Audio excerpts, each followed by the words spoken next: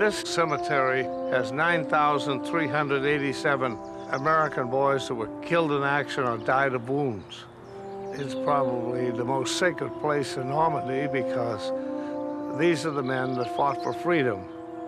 Freedom is not free, as you can see. June 6, 1944, an army of more than 150,000 men becomes part of the largest invasion force ever assembled. For Operation Overlord, the liberation of Europe begins. We all had our fingers in the dike. If the Germans could have broke through, the floodwaters would have come. They would have just wiped us out. Six decades later, some American D-Day veterans return to the battlefields of Normandy, France, to remember their comrades and the combat that changed their lives forever.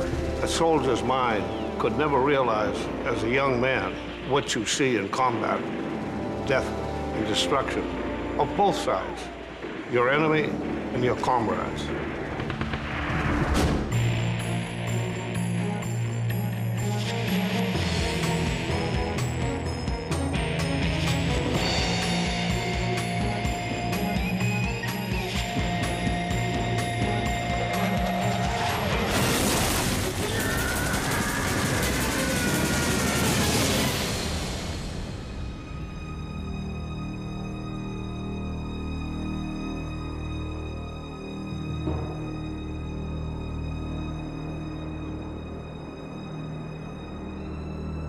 June 1944. As Germany braces for the inevitable invasion of France by strengthening its defenses along the Atlantic Wall, the Allies are preparing for the biggest military offensive in the history of man. The first Americans into France will be the Pathfinder teams of the 82nd and 101st Airborne.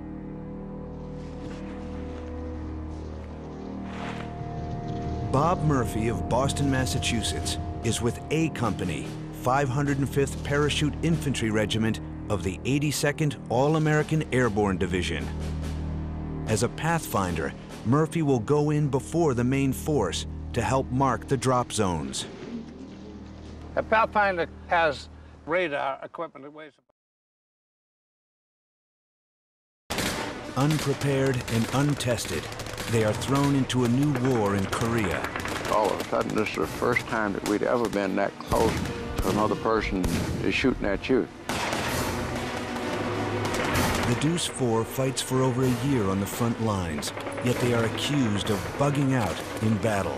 They said that we was running, we dropped our weapons, we didn't fight. 50 years later, the controversy surrounding the Buffalo Soldiers still remains.